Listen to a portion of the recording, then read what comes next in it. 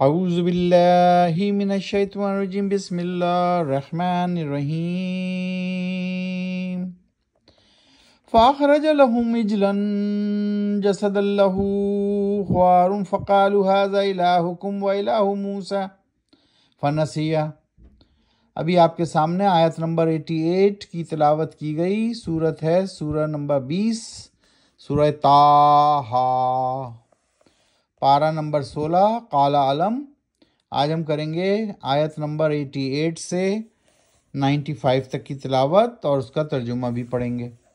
آئیے eighty eight کا ترجمہ پڑھتے ہیں۔ پھر نکال لائے موسا کے سامنے بچھڑے کا دھڑ، جس میں سے نکلتی تھی آواز گائے کی سی۔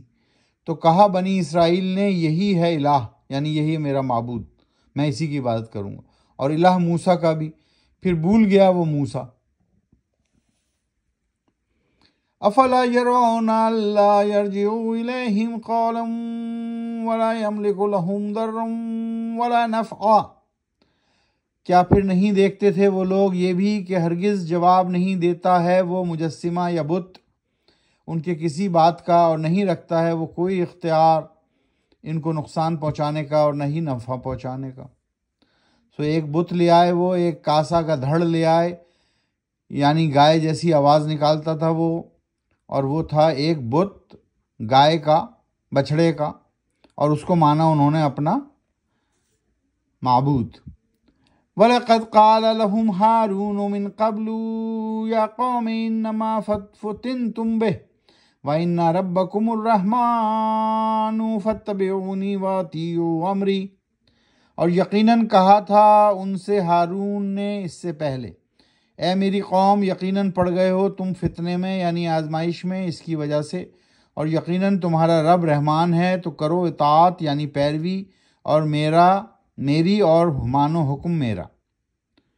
آیت نمبر نائنٹی ون۔ قالوا لن نبرح علیہ عاکفین حتی یرجع الینا موسیٰ۔ کہا بنی اسرائیل نے، ہم تو ہمیشہ جمے رہیں گے، ڈٹے رہیں گے۔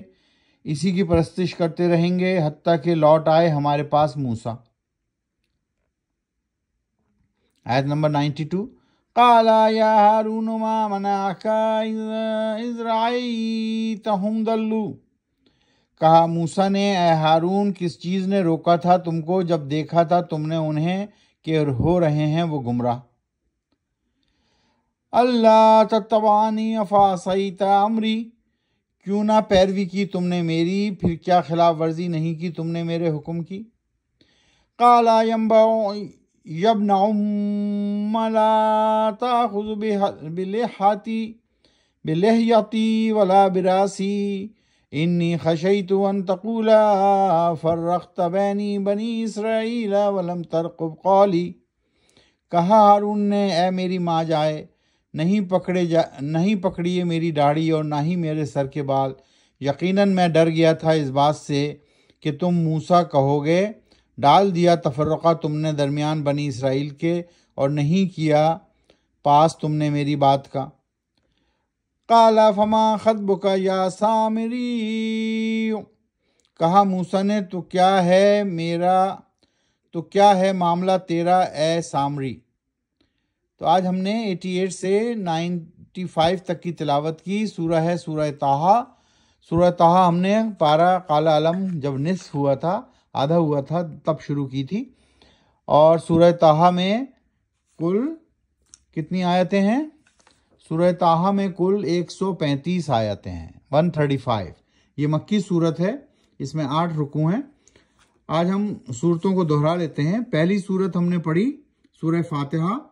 دوسری صورت ہم نے پڑھی سورہ بقرہ، تیسری سورہ آل عمران، چوتھی سورہ نساء، پانچویں سورہ المائدہ، چھٹی صورت سورہ الانام ساتویں صورت سورہ العراف آٹھویں صورت سورہ انفال، نویں صورت سورہ توبہ، دسویں صورت سورہ یونس، گیارہویں صورت سورہ حود بارہویں صورت سورہ یوسف، تیرہویں صورت سورہ راد چودہویں صورت سورہ ابراہیم پندرہویں صورت سورہ الحجر، سولہویں صورت سورہ نحل، ساتویں صورت بنی اسرائیل سترویں صورت بنی اسرائیل، اٹھارہویں صورت الکحف سورہ کحف انیسویں صورت سورہ مریم، اور بیسویں صورت میں ابھی ابھی ہم ہیں، اور اس صورت کا نام ہے سورہ تاہا تو ہم آہستہ آہستہ سورہ تاہا پڑھ رہے ہیں روزانہ، اور اس کو ترجمہ بھی پڑھ رہے ہیں۔ قرآن شریف کو سمجھ کر پڑھیے، اس کو اپنی زندگی میں نافذ کیجیے، قرآن و سنت کو اپنی زندگی میں نافذ کیجیے، اپنے بیوی بچوں کو بھی ترقین کیجیے۔